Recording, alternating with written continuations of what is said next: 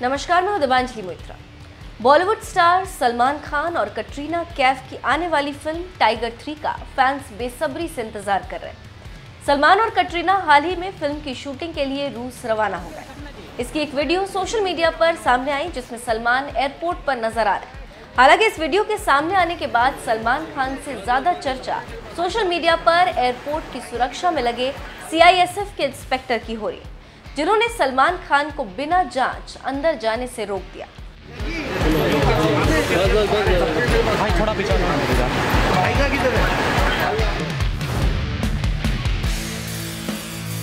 दरअसल जब सलमान खान एयरपोर्ट पर पहुँचे तो भाईजान अपनी सिक्योरिटी के साथ एयरपोर्ट के भीतर जाने लगे। ऐसा लगता है कि सलमान के स्टार्डम से सीआईएसएफ के अधिकारी को कोई फ़र्क नहीं पड़ा।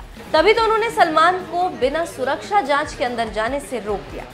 इसके बाद परेशान सलमान खान के पसीने निकल गए। जब इतने सारे फैंस के बीच एक इंस्पेक्टर ने उनको भी एक आम आदमी की तरह लाइन में खड़ा करवाया और उनका नंबर आने पर ही सारी प्रोसेस पूरी तो वहीं सलमान भी चुपचाप वहाँ पर रुककर खड़े रहे और अपनी बारी का इंतज़ार करते दिखे।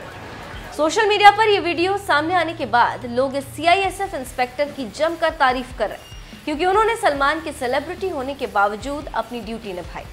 वहीं सोशल मीडिया पर इस वीडियो के आने से कमेंट्स की तो जैसे बाढ़ ही आ गई।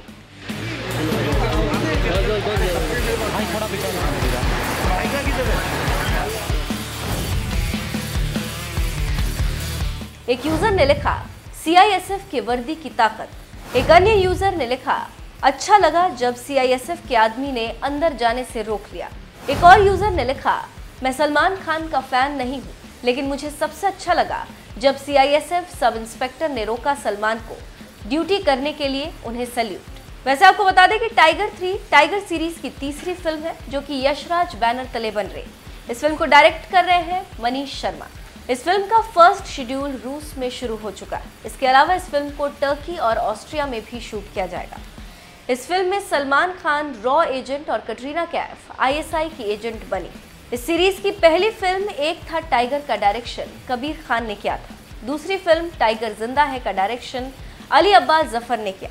इस फ़िल्म में इमरान हाशमी विलन के रोल में नज़र आने वाले। बहरहाल, सलमान खान की ये एयरपोर्ट कंट्रोवर्सी आपको कैसी लगी, हमें कमेंट करके ज़रूर बताएँ और बॉलीवुड की ऐसी ही चटपटी खबरों को जानने के लिए जुड़े रहें हमारे साथ डोडी भाई डोडी भाई थोड़ा सलमान भाई एक फ़ोटो करते ना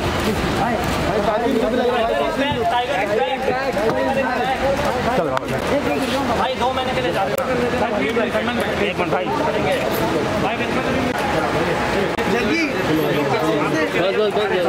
भाई थोड़ा पीछा भाई का भाई किधर है? बस ओके ओके।